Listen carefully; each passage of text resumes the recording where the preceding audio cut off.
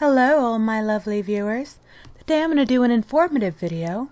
One of my favorite tools is the um, fur coarse tool. It kind of gives me this nice bit of a grassy texture. You can really have a lot of fun playing with this.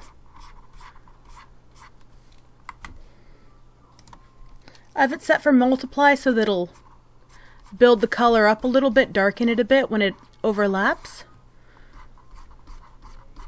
You can see you can definitely have fun making little flips and just swoop along the hairline.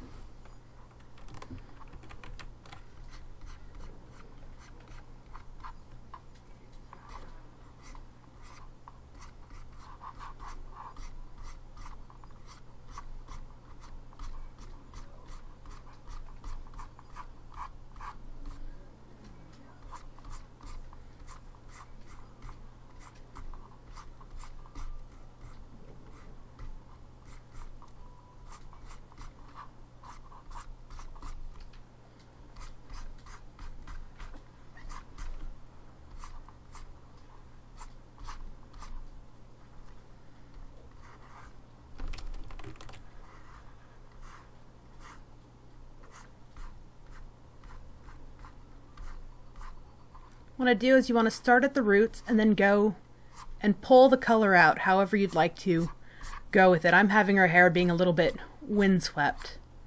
The best thing about hair is you can definitely have a bit of chaos to it.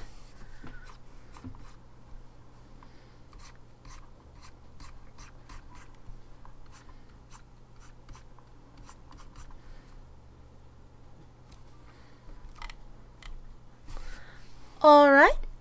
There we go, and that's my tips on how to do some hair with the fur tool. I can definitely clean this up a bit, maybe add a little bit of color underneath, because if we were going to add another layer, and I decided to put this underneath, but let's say I do red, I'm going to go ahead and go underneath with the ink tool. Ink Weber, and Now see, as I go underneath,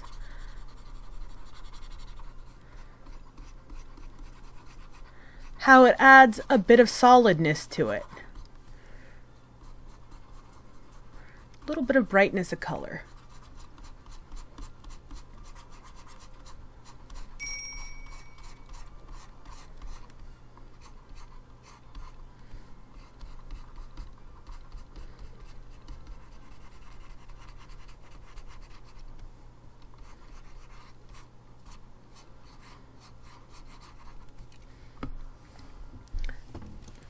Let me know in the comments if you'd like me to do more art videos or whether you want to see me mostly do some anti-feminist videos.